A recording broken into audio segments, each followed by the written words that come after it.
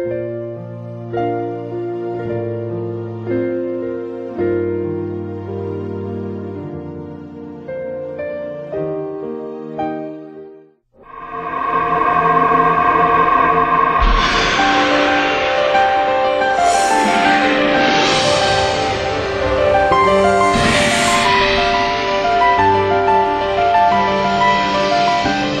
like to invite you to take your uh, program out, to take your study guide out. I want to begin with a little bit of review. Last night we looked at this metal man. In fact, let's read our first paragraph there on your study guide. It says, Here at the Discover Prophecy Seminar, we believe that Jesus is coming soon. Is there anyone else out there that shares that conviction that Jesus is coming soon? I'm going to give you reason tonight why I believe that. We ask the question, how do we know that this is true? And how soon is soon? People have been saying for centuries, people have been saying for decades that He's coming soon. And that raises the question, how soon is soon? How can we be sure that the second coming really is imminent? Fortunately, the Bible powerfully, compellingly, and clearly answers these very questions. Let's turn our attention to the Bible and see what it has to say about this important topic. Now, let's do a little bit of review here. Just there, a quick review of Daniel 2. A great metal, what should be in that blank, everyone? A great metal man of Daniel chapter 2 tells the story of the history of this planet. The five elements of that image, gold, silver, brass, iron, and clay, represent the five major kingdoms. That's exactly right. You've got it. From the time of Daniel to the setting up of God's kingdom. Babylon was the head of gold. Medo Persia were the chest and arms of silver. Greece, the belly and thighs of bronze. Rome, the long legs of iron. But Rome was not conquered, you remember. It was divided, just as God's word said. And so here Daniel, in about 150 words, accurately foretells 2,500 years of Earth's history, beginning in the time in which he lived Babylon, moving through the whole sweep of history down to divided Rome, today what we would call modern Europe. Today we live in those feet of iron and clay, partly strong and partly weak, and the very next thing that happened, you remember, is that God would set up His own kingdom. God would set up what, everyone? His own kingdom, and it was represented by a what? Do you remember? By a stone, and where did it hit the image? Who remembers? Where did it hit the image? Hit the image in the feet, and it smashed the gold, the silver, the bronze, and the iron to bits. And then it says that that stone that struck the image grew and became a great, does anyone remember? A great mountain. Look at the, back, the last part of that paragraph there. The very last sentence, second to the last sentence says, the dream applied to the what? Who remembers? The latter days. The kingdom of God is at hand. Beloved, as you take a look at that image, that great timeline that moves us through the sweep of history from 600 years before the time of Jesus until now, I want you to notice that there is nothing below the feet. That's it. As we said last night, God said there would be Babylon, and there was Babylon. Number one, God said that there would be Medo Persia, and there was Medo Persia.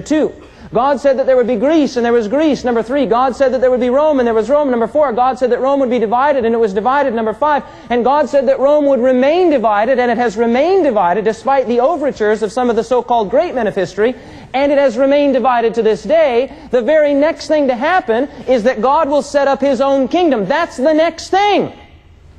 And so someone might ask, legitimately and rightfully, when will that happen? And that is our message tonight. We asked the question last night, what would you wager? If you were a gambling person, what would you wager? Just think it through. You don't have to be a religious person. You don't have to be a theologian. You don't have to be a super spiritual person just to think about this logically.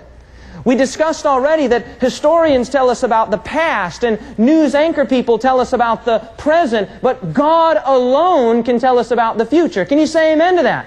And God is sending us here a signal in the apocalyptic books of Daniel and Revelation. He's saying that it's getting nearer and nearer and nearer. Now you're going to ask, how much more time do we have? The answer is, I don't know. But I'll show you tonight. I don't think we have much time left. I don't think we have much time left. The stone that struck the image became a great mountain and filled the whole earth. The end of all things, is it here? Is it near? Or is it near fear? This is not just something that theologians and Bible scholars are dealing with, not at all. Even popular media magazines like Newsweek and Time, prophecy, what the Bible says about the end of the world. If you can see the writing here, the end of the world. Apocalypse Now. Will computers melt down? Will society? A guide to millennium madness. It's not just popular culture that has an interest in the end of all things, what's called apocalyptic studies. Notice this remarkable quotation from a man by the name of Bernard McGinn from the University of Chicago Divinity School. He says over the past 30 years, more scholarship has been devoted to apocalypticism, that's last day events, than in the last 300. In other words, from, a, from an academic point of view, from a scholastic point of view, there has been more research, more study into last day events in the last 30 years than in the foregoing, the previous 300 years. Not only is there an increase in the common media, in the, in the mass media, even scholars are interested in what is going on. It's almost like there's something tangible, something palpable in the air. People have a sense that something is about to happen. And I would say that has increased tenfold since 9-11. The, the, the post 9-11 world is a very different world than the pre 9-11 world, and everything is in flux. People are wondering, what is going on? And I want to tell you tonight, and I believe this with all of my heart, with all of my soul, with every bit of my being, that the Bible alone can give us real, compelling, and true answers about what is going on in the world today. The politicians do not have the answers. Somebody say amen. They might have some of the answers and they'll do their best and hey, listen, fine, fine, fine. But they do not have the ultimate answers. The world religious leaders, many of them do not have the answers. God alone has the answers as to what's happening. He's given them to us in His Word, and we can know them if we'll study and look at them. The end of the world, is it here, near, or mere fear? You might be saying, well, that's religious talk, David. That's religious talk. Look at your study guide there. The subheading says, What do the experts say? What do the experts say? It is not only the Bible and Bible believers that insist we are living in strange and unusual times. You say, oh, that's religious talk. You wild-eyed religious fanatics have been saying these kinds of things a long time. Oh, sure, Jesus is coming. Oh, sure, the end of the world is coming. We've heard it all before. Beloved, let me tell you something. I was not a Bible believer. I had no interest in things religious. I had no interest in things Christian. 23 years old, I had no interest in these things. And God got my attention. And I think I can say with a degree of objectivity that we are living in strange and unusual times. The world appears to be coming apart at the seams. Do you tend to agree with that or disagree with that? I want to show you tonight that it is not just so-called religious people that believe we are living in strange and unusual times. In fact, you'll notice that there in your study guide. Many recognized experts and authorities in various fields suggest that we are living in extraordinary and unique period of Earth's history. Many of these individuals are not writing from a biblical or a so-called theological perspective. They are simply writing from an observational and an evidentiary perspective they see that the evidence points in a fearful and unusual direction. Turn the page if you would. I cite for you this evening as, as case in point number one, a man by the name of Eugene Linden. Eugene Linden is an award-winning journalist, and several years ago he wrote a book entitled The Future in Plain Sight. The subtitle of the book was Nine Clues to the Coming Instability. Nine clues to the coming instability. Now, when Mr. Linden says the coming instability, again, he's not writing from a religious perspective, he's not writing from a biblical perspective, not at all. When he uses that language, the coming instability, sometimes he calls it massive global instability, that is secular code speak for the end of the world as we know it. Nine clues, he says, to the coming instability. Let me just share with you very quickly Eugene Linden's concerns. Notice, none of them are biblical. None of them are so-called religious reasons. This is what he says. We're not going to spend time going into them, but let's just look at a few of them. He says the collapse of the global economy is a real potential. The migration of the poor to the cities. Population explosion, both urban and rural. Global warming. We'll talk more about that in a little bit. The economic disparity between the rich and the poor. You say it with me. The rich get richer and the poor get Poor. He says it's reaching epidemic proportions. He goes on, the collapse of bioecosystems. Number seven, water and food shortages. Number eight, infectious diseases. He cites both a resurgence of old diseases and a resilience of modern diseases. He says that the diseases are getting smarter and more resilient to antibiotics, etc. And number nine, he cites radical fundamentalism in religions. Notice again, Dr. Linden here is not writing from a biblical perspective. And he says we are living in strange, unusual, and extraordinary times. I cite for you now a man that is considered by many to be the single greatest scientific mind on the planet. With a raising of hands, how many of you are familiar with who this man is? Dr. Stephen Hawking. Okay, good. Many of you would be. He's authored the uh, best-selling science book of all time. It's a book entitled A Brief History of Time. Again, he's considered by many to be the greatest scientific mind on the planet. He's hailed as Einstein's successor. You're looking at his picture there and you're thinking he doesn't look like he's very fit. He's very well, and that's exactly right. He has a terrible disease, Lou Gehrig's disease, amyotrophic lateral sclerosis. He can't even speak, as a matter of fact. All he has is just a very small amount of movement in one of his fingers, which he is able to use a, a very sophisticated computer and sort of craft sentences, etc., etc. And he does presentations. He spoke recently at a, a, uh, a group, uh, a convention of religious leaders and thought leaders and, and academic leaders, not religious leaders, academic leaders and others. And this is how he concluded, Dr. Stephen Hawking concluded his um, lecture there that was entitled, Is Man, Mankind, Determined or Free? I want you to notice this. Now, the language is a little obtuse, and I apologize for that, but you'll get the thrust of it right away. Dr. Stephen Hawking said this I fear that since the evolutionary process, and of course he believes in the process of evolution, we'll talk more about that maybe later in our seminar. I fear that since the evolutionary process has worked through the dialectic of determinism and aggression, our long-term survival and any hope for our what? Species is in question. You see what he's saying? He says, I'm concerned I'm very concerned. I mean, the man holds the Sir Isaac Newton Chair of Mathematics at Cornell University or Cambridge University. He says, I'm concerned. Notice what he says next. However, here's his solution.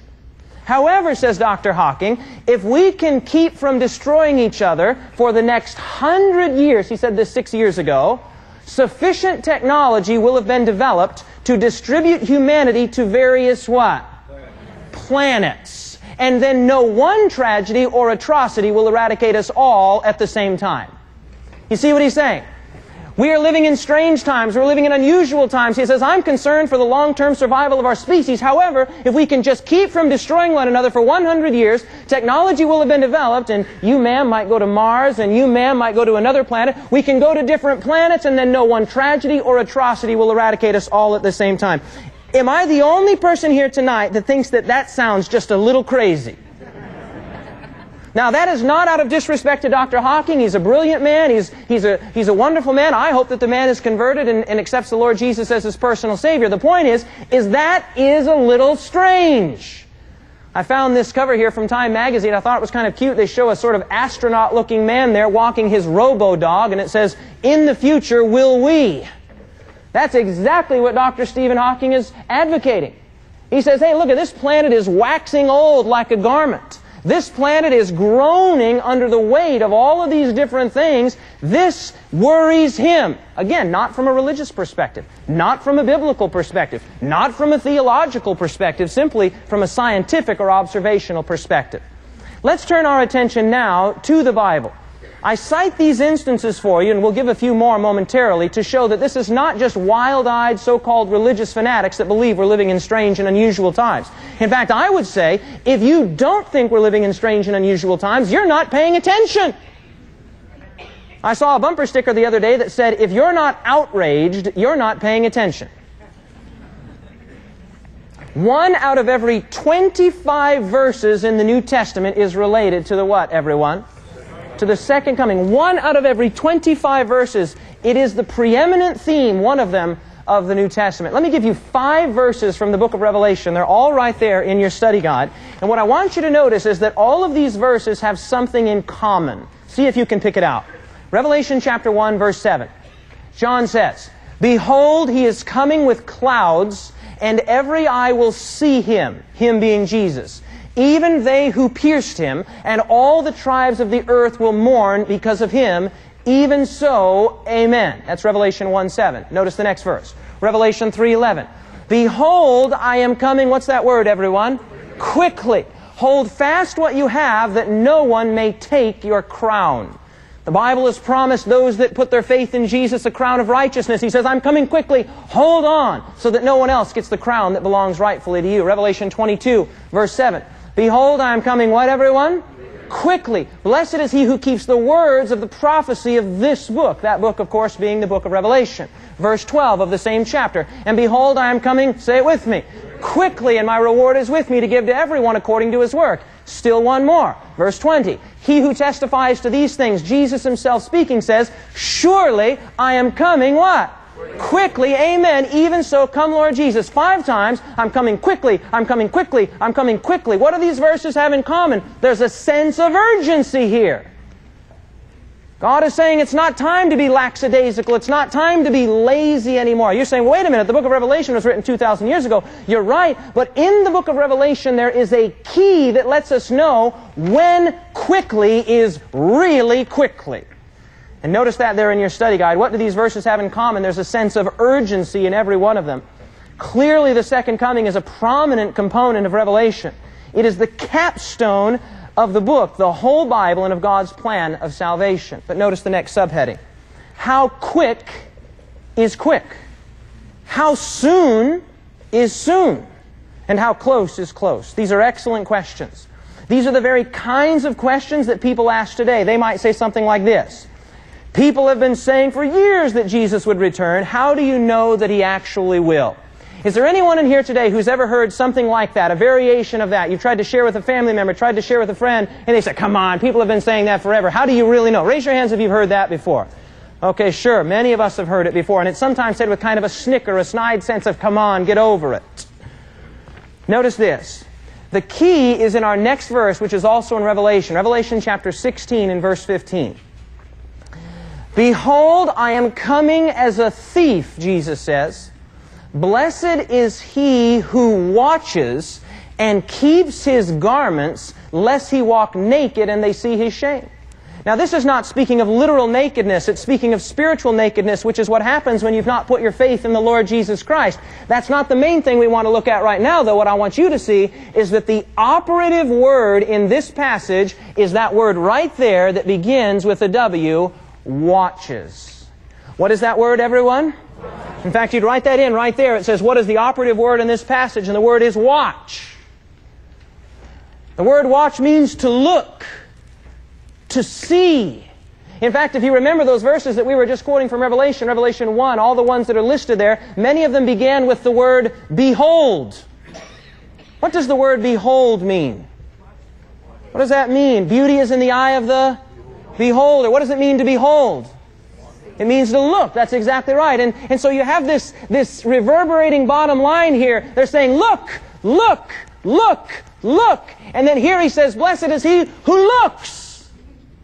Now, very interesting. Let me show you several other verses here. In fact, I think I've got them all for you. Matthew 24, 42, right there. Take this home and study it yourself. Jesus speaking, he says, Watch therefore, for you do not know what hour your Lord is coming. Notice Jesus says, Watch. Next one. 1 Thessalonians chapter 5 verses 4 and 6 the apostle Paul. Notice what he says. But you brethren writing to the church in Thessalonica are not in darkness so that this day should overtake you as a thief. There's that language again. Many people have heard that language. He comes as a thief. He comes as a thief. Many people don't know what that means. We'll talk about that in another seminar another presentation. But notice this that day is the second coming notice verse 6 therefore let us not what everyone sleep as others do. Paul knew that there would be people that would be asleep. Paul knew that there would be people that would say, oh yeah, we've heard that all before. No, let us not therefore sleep as others do, but let us what? Watch and be sober. That means be serious minded. Doesn't mean you can't have a little fun. Nobody in this room likes to have fun more than David Asscherick. I guarantee you that. You ask my wife, she'll tell you that's the truth. But we should be sober minded about the times in which we're living. Can someone say amen to that? Amen. He says, he says, watch. John in Revelation says, watch. Jesus in Matthew, the Gospel of Matthew says, watch. Here Paul is saying, watch. And Peter actually says the same thing here in 1 Peter chapter 4 and verse 7. But the end of all things is at hand, he says. Therefore, be serious. There it is again. And what's the next word? Watchful in your prayers. John says watch. Paul says watch. Peter says watch. Jesus says watch. Is there any question in anybody's mind tonight that the Bible is telling us to watch for something? The question is, for what? Does that sound good? Say, oh, keep your eye out. I'll tell you, keep your eye out. Keep your eye out. But you're going to say, um, David, what am I keeping my eye out for? Does that make sense, everyone? Yes or no? Notice your study guide. What do all of these verses have in common? They all deal with the end of time. Each of those verses we just looked up deal with the end of time. All of these verses tell us to watch. But the question is, for what? The disciples questioned Jesus on one occasion about the end of the world. Open your Bibles with me to Matthew chapter 24. Matthew, what chapter, everyone? First book of the New Testament. You can find that. If you're sitting next to someone who has difficulty finding it, just help them out. First book of the New Testament, right between Malachi and Mark. Matthew chapter 24. Matthew chapter 24. We're being told to watch. And the question is, for what? And here's the answer. Matthew chapter 24, beginning in verse 1. Then Jesus went out and departed from the where, everyone? From the temple. Jesus left the temple. And his disciples came to show him the buildings of the temple. They were trying to cheer him up. The reason they were trying to cheer him up, if you read in the first three or the last three verses of the chapter before it, Jesus has left the temple for the last time. In fact, he says in verse 37, O Jerusalem of the previous chapter, O Jerusalem, Jerusalem, the one who kills the prophets and stones those who are sent to her, how often I wanted to gather your children together as a hen gathers her chicks under her wings, but you were not willing. Never forget that. God is a gentleman. He will not force his way into your life. He begs and he hopes and he calls and he pleads, but God will not force. Can someone say amen? Jesus says, I, I wanted to bring you under my wings as a hen gathers her chicks, but you were not willing. Notice verse 38. See, your house is left to you desolate. Verse 39, For I say to you, you will see me no more till you say, Blessed is he who comes in the name of the Lord. And he walked out of the temple. That was the last time that Jesus, the Messiah, the very one to whom the temple pointed, would ever set foot in those precincts. He walks out. His heart was burdened. His heart was sad. He went up on a mountain called the Mount of Olives, and the disciples could tell there was something wrong. Jesus had begun his public ministry. You might remember the story. He went in and he threw all the money changers out. Remember that story? And he said, Take these things out of here. See if you can repeat it with me. You have made my father's house a den of thieves. So at the beginning of Jesus' ministry, he said, my father's house, but here at the end, he says, your house is left to you desolate. Three and a half years earlier, it was my father's house. At the end of his ministry, it's your house. Why? Because the Jewish nation had consistently rejected the evidences of Jesus' messiahship. He says, hey, listen, what more can I do? You won't see me again until you say, blessed is he who comes in the name of the Lord. He goes up, he sits on the Mount of Olives. The disciples come in verse 1, we've already read it, to try and cheer him up. Oh, Jesus, look at how beautiful the temple is. Oh, Jesus, look at how the sun glistens off of its glorious marble walls. But Jesus would not be comforted. Look at verse 2. Jesus said, Do you not see all these things? Assuredly I say unto you, not one stone will be left here upon another that will not be what? Thrown down. The very thing that the disciples were trying to cheer Jesus with, Jesus says, Do you see it all? It's going to be destroyed. In fact, it'll be so destroyed, so utterly decimated that there won't even be one stone upon another that is the temple destroyed, Jerusalem destroyed. And in the minds of the disciples, they're thinking, What? The destruction of the temple, the destruction of Jerusalem, surely he's talking about the end of the age, what the Greeks called the eschaton. Oh, that must mean the end of all things. Notice verse 3. Now as he sat upon the Mount of Olives, the disciples came to him privately, saying, Tell us when will these things be? And what will be the sign of your coming and of the end of the what, everyone? The end of the world, or the end of the age. The disciples thought they were asking one question. They thought they were asking one question. When will all of these things be and what will be the sign of your coming and of the end of the age? But that's really two questions. And what Jesus does is he parallels the destruction of Jerusalem in AD 70 under the Roman Emperor Titus and the end of the world. And that's really what Matthew chapter 24 is, is this marvelous answer in which Jesus takes these two events and interweaves them in a marvelous tapestry. Now let's look at our study guide here. Consider Matthew chapter 24. We're on the bottom of the second page. In Matthew chapter 24, Jesus deals with the issue of the end of the world. In this chapter, Jesus masterfully, the word is, parallels the destruction of Jerusalem in 70 AD with the destruction of the world at the end of the age. In this parallel, Jesus employs two revealing and helpful analogies for understanding the last days and the end of the world. Let's look at these two analogies. The first one is actually found in verse 8. The first one is found in verse 8, Matthew chapter 24 and verse 8. Now I'm reading this morning, or this evening rather, from the New King James Version. It says, All these are the beginning of sorrows. All these are the beginning of sorrows. How many of you have a translation that says the same thing there in Matthew chapter 24 verse 8? All these are the beginning of sorrows. Who has something that says, who has a translation that says something different than that? What does yours say? Birth pangs. That's exactly right. That's what the Greek word is. Just as the RSV says here, all of this is the beginning of birth pangs. In other words, contractions, ladies. That's the Greek word that Jesus is here employing. He was probably speaking in Aramaic, of course, but, but here Jesus says, all of this, you say all of what? We'll get there in just a moment. He uses the analogy of contractions. We'll come back to that. He employs a second analogy. As you turn the page there, you can write this down. Look in Matthew chapter 24 and verse 32. Matthew 24 and verse 32. Matthew chapter 24, what verse, everyone? 32, Jesus says, Now learn this parable. A parable is a story that illustrates a larger spiritual significance. Now learn this parable from the what, everyone? The fig tree. Hmm, that's interesting. Jesus is going to teach us a story here from a tree, a, a lesson from a tree. When its branch has already become tender and puts forth leaves, you know that summer is what, everyone? near. Now notice verse 33. He makes the application. So also, when you see all these things, know that it, it in the context is the second coming, know that it is near, even at the doors. Jesus employs two analogies here.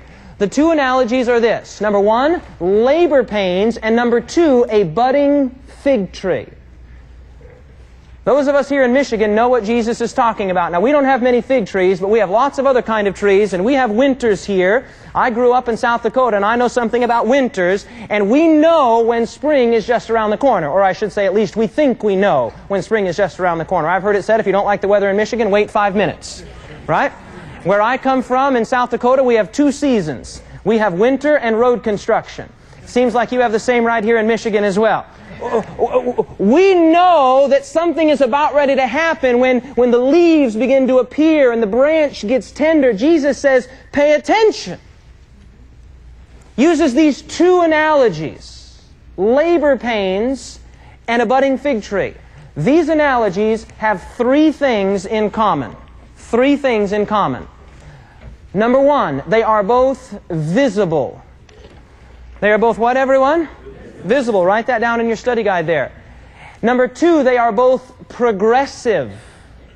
That is, they start here and they move toward here, and as they move, they increase in frequency and in intensity. They're progressive. And number three, they are climactic. The budding fig tree announces summer. The labor pains of a woman's uh, contractions announce a child. They all end at something, an event. You say, now what is it? What are these things that we're supposed to watch for? Peter says watch. John says watch. Jesus says watch. Paul says watch, watch, watch. We haven't even talked about what we're watching for, but we know we should be watching for something. He gives two parables, the fig tree and the labor pains. These are visible, progressive, and climactic. And you say, well, well, what is it? Go back to Matthew chapter 24. The disciples have asked Jesus the question. Verse 3 When will all of this happen? What will be the sign of the end of the age? And Jesus says in verse 4, the very first words out of his mouth, Take heed that no one what? In other words, be careful that no one deceives you. In fact, he says that three times in this one chapter. Be careful that no one deceives you, that no one deceives you, that no one deceives you. Friends, the only thing that you can be guaranteed to, to keep, that, that will keep you from being deceived is knowing the Bible for yourself. Can someone say amen to that? I could stand up here and say something wrong. In fact, I'll tell you this. If I ever do say something that's wrong, don't come back. You don't have to come back. If what I say doesn't come from the Bible, don't come back. What I like to tell Christians is this. You should know your Bible well enough to know when a minister misquotes it. Are you with me?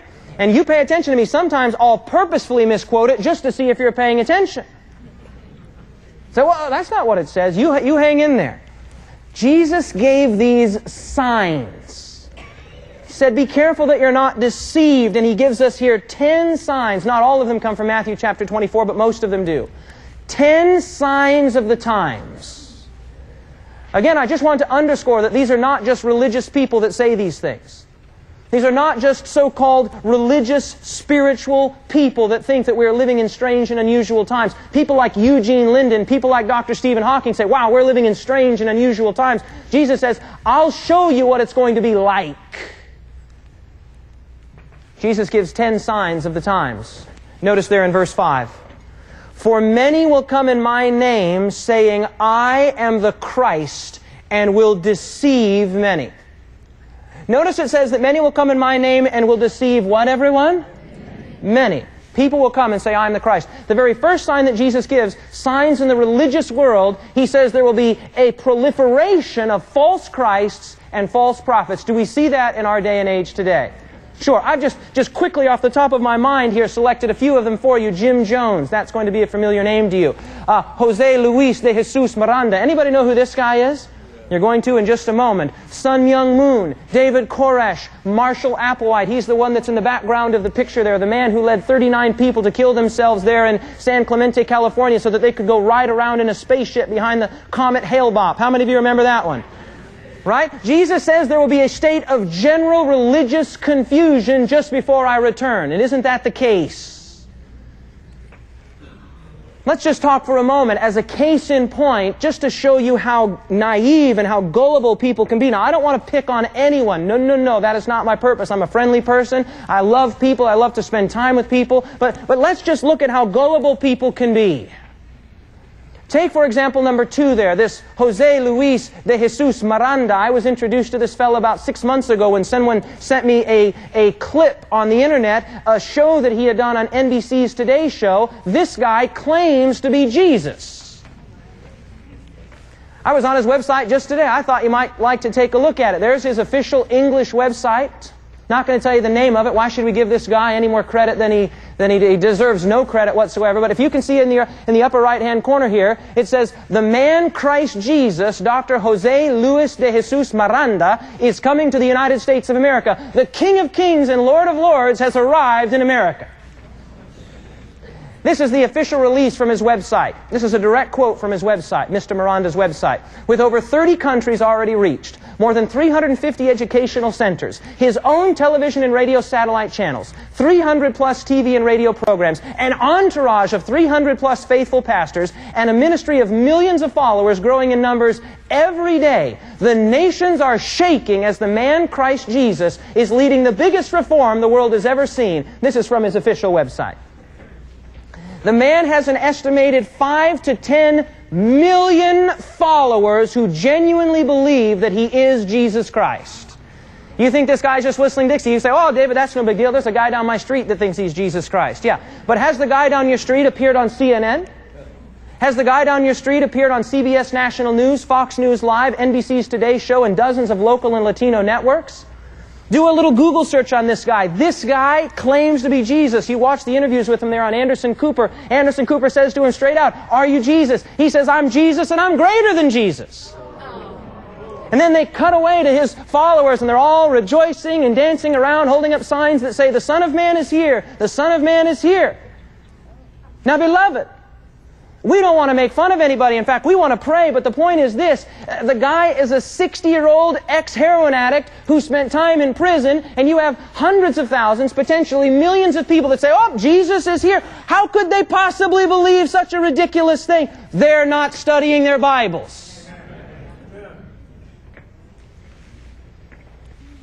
Jesus said that's what it would be like just before he returned. Other examples could be given. Notice the next sign that Jesus gives. Verse 6.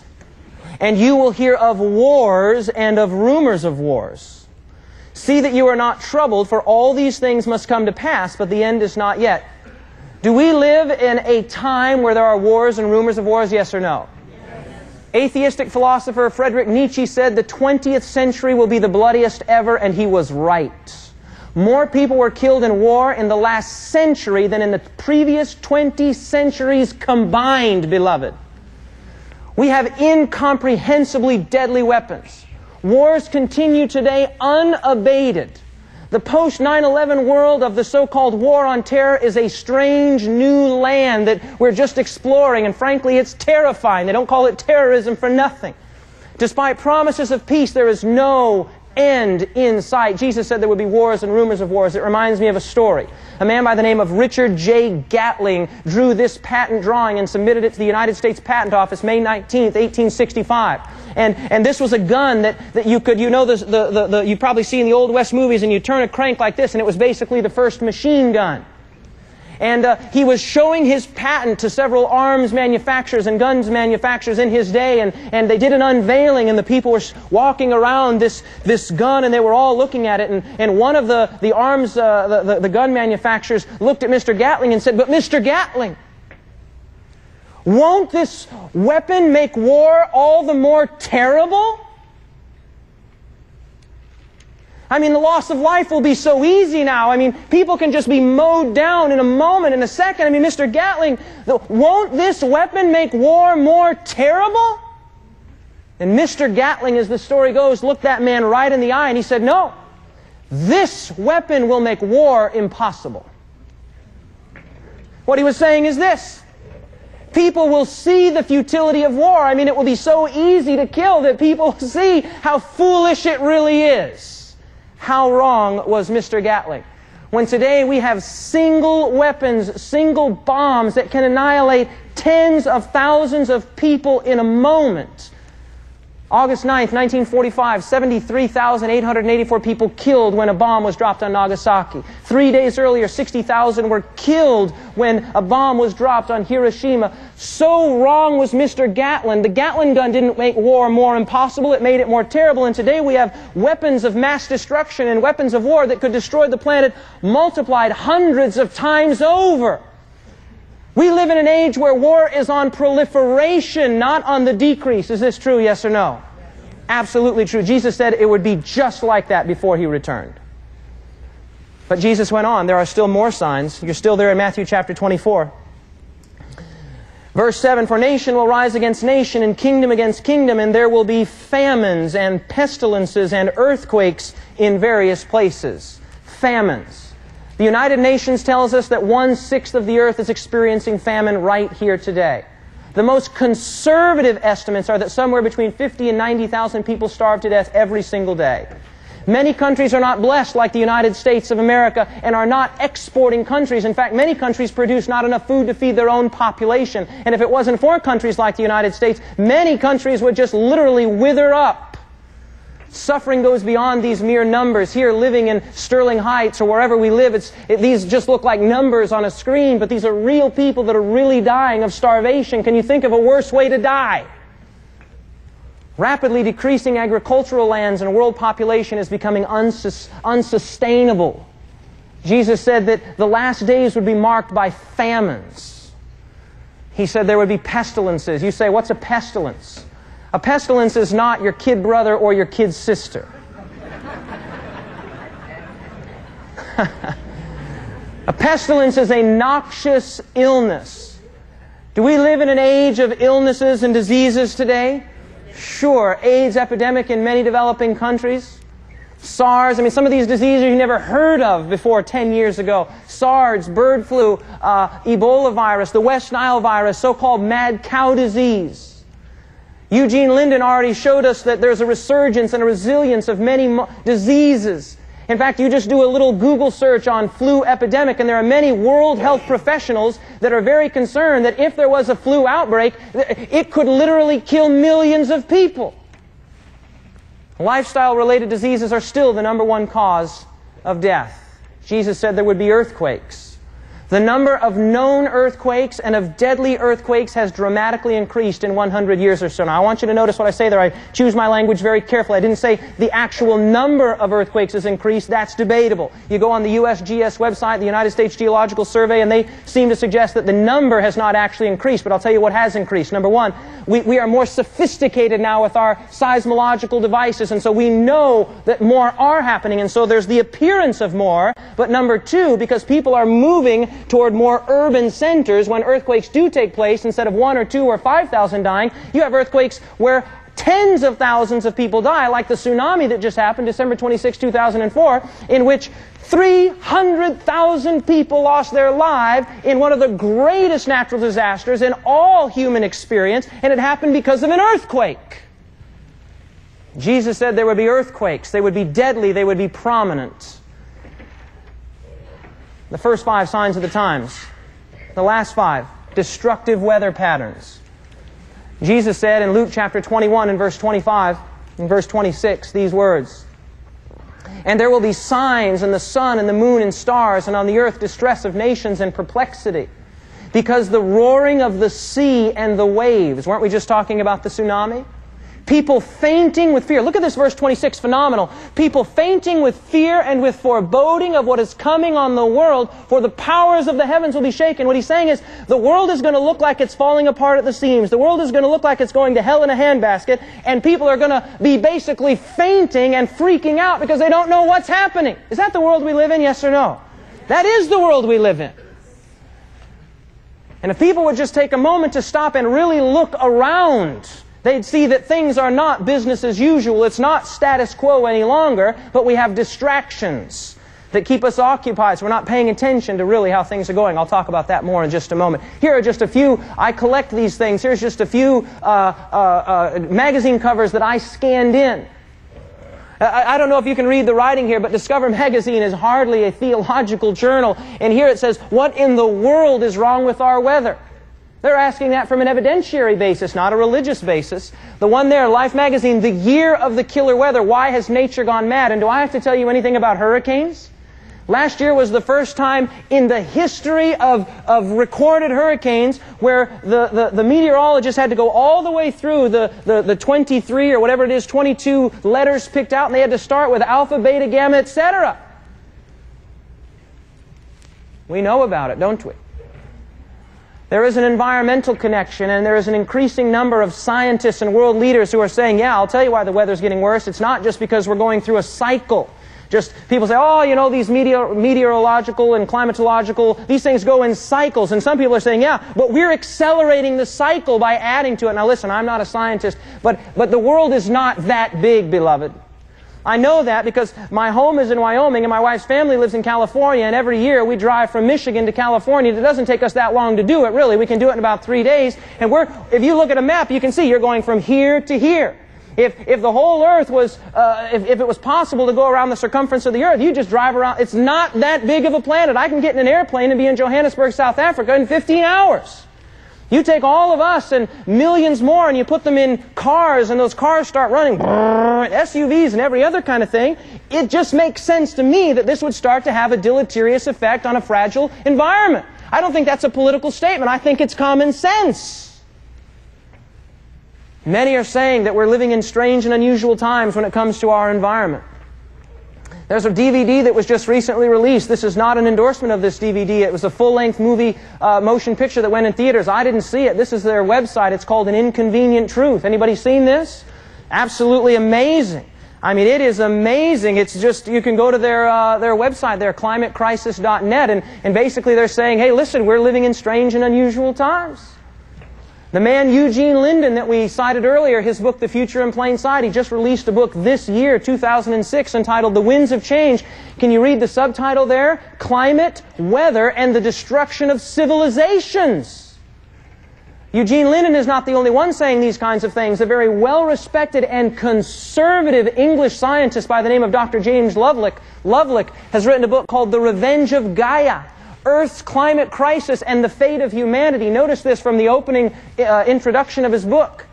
He says, We are now approaching one of these tipping points, and our future is like that of the passengers on a small pleasure boat sailing quietly above the Niagara Falls, not knowing that the engines are about to fail.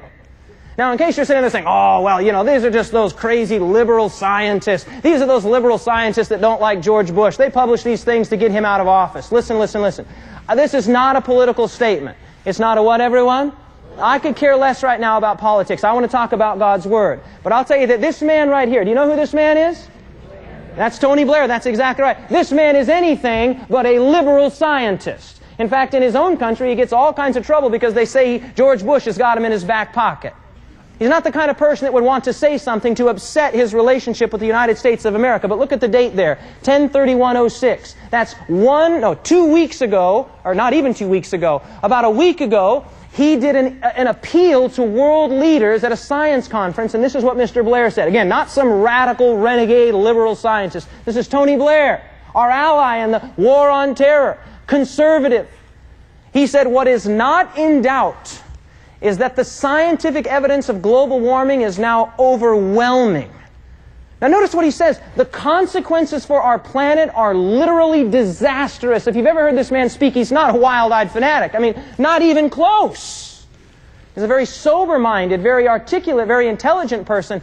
He says, this disaster is not set to happen in some science fiction future many years ahead, but in our lifetime. Unless we act now, says Mr. Blair, these consequences, disastrous as they are, will be irreversible. Now, okay, let's just say you disagree with him. That's your prerogative to disagree with him. The point is this. Even non-religious people say we're living in unusual times. Is that clear, yes or no? Yes. That's the point. Increasing violence. Do I need to say anything about this? Do we live in an increasingly violent society? Yeah. Nothing needs to be said here, beloved. Whether it's the television or rap music or video games, Lord have mercy. Look at these video games that people are playing today. I mean, it's so real. I love it when they get these experts on these television programs. My parents used to live in uh, just outside of Columbine, Colorado. In fact, they lived in Columbine when that terrible tragedy took place there, and those two boys went in and killed, what was it, 11 or 12 of their classmates. And then they'd have these experts on CNN and C-SPAN and other places, and they'd say, now, now, we'd like to ask you, Dr. So-and-so, so-and-so, you know, we notice that these boys are listening to violent music, and they're playing violent video games, and they're watching violent television programs. Do you think that it might be possible that there is some causal explanation that maybe it's possible, perhaps, uh, the, the, the things that they're exposing themselves to, these media things, are causing them to do this? Well, you know, we're not sure. And I, am thinking, ah, the whole world has gone insane. We don't need to say anything about an increasingly violent society. Jesus said that the, the love of many would wax cold and that the thoughts of men would be only on evil continually at the end of time pleasure driven society, number eight. Is that the society that we live in today? Oh, Lord have mercy. Jesus says at the end of time, the pornography business will be booming. Jesus says at the end of time, everybody's going to be interested in sports. Jesus says at the end of time, television is going to be huge. At the end of time, media, uh, cinema houses are going to be huge. Pleasure, pleasure, pleasure. Why is pleasure so much uh, on our minds? I'll tell you exactly why it's on our minds. Because we look, we're looking for distractions to keep our minds out of what is really happening in the world today. There's actually a psychological phenomenon here called compartmentalization. It's when, when basically, just imagine with me that you think you're going on vacation to Orlando. You say, oh yeah, you got the whole family loaded up in the SUV and you're, whoo-hoo, going to Orlando. And you think you're on your way to Orlando, right? And you're all happy and, oh, this is going to be great in Orlando. Can't wait to get on that beach. And you pass a sign and the sign says Akron.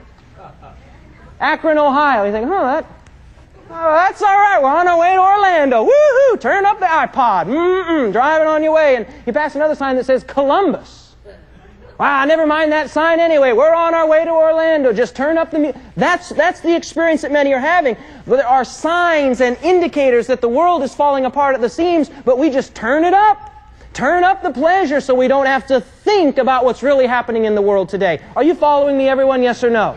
It's a psychological phenomenon called compartmentalization because we don't like to think about these things.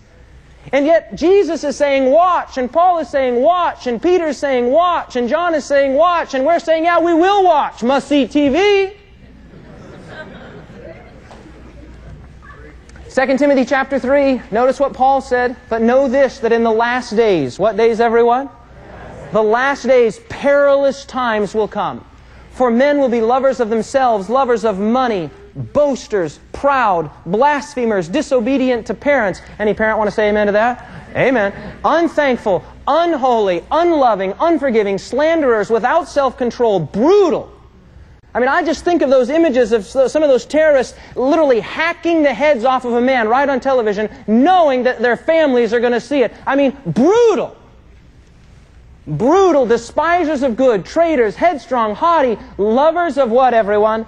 Pleasure rather than lovers of God. You've got it. Loss of family values. Number nine. Divorce rate is over 50% in the United States. I had the uh, honor, but the, the terribly sad honor last year of burying my grandfather. He was like a father to me. I never had the privilege of meeting my biological father. And so my grandfather was like my dad.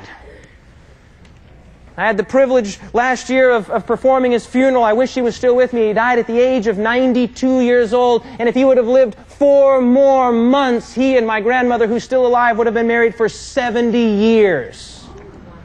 Beloved, that is the exception today and not the rule.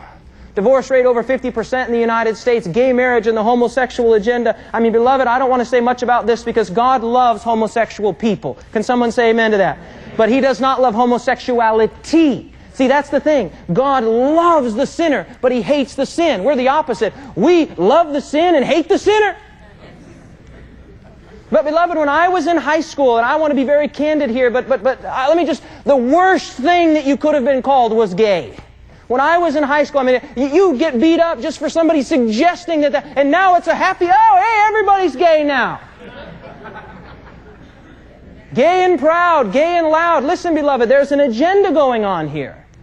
Violent, pleasure driven society, a godless media. I mean, listen, beloved, these statistics are mind blowing. 46 million abortions per year globally. 1.37 million per year in the United States in 1996. Absentee parents and detached children. Family values literally eroding right before our very eyes. Look at this statistic. It will just blow your mind. Michael and Diane Medved wrote their book, Saving Childhood. The Wall Street Journal review of this book said that if this isn't an important book, I don't know what an important book looks like. This is from page 19. The average American child will spend more time watching TV by the age of five than they will spend talking to their father in their lifetime. That is the society that you live in. That is the society that your children are growing up in. In 1940, Reader's Digest took a, a poll of the top seven disciplinary problems in schools. Whew, look at these. Wouldn't you teach, any teachers here today? Wouldn't you love to have these? Talking out of turn. Whew, that was one that I struggled with. Chewing gum in class. Making noise. Running in the hallway. That was another one that uh, I struggled with. Cutting in line. Never struggled with that one. I'd get beat up if I did that. Number six, dress code infractions. I mean, you say to our young people today, dress code. They say a what code? They don't even know what that is. A dress code. Littering. Whoo, those are some real problems. They took the same survey in the year 2000. Top seven uh, problems for, for uh, educators drug abuse, alcohol abuse, making, uh, that shouldn't be making noise, pregnancy, suicide, rape, and assault. Have times changed, yes or no? Times have changed. Gospel to all the world. Good for you. Matthew chapter 24. Matthew chapter 24, but notice the greatest sign of all. Matthew chapter 24.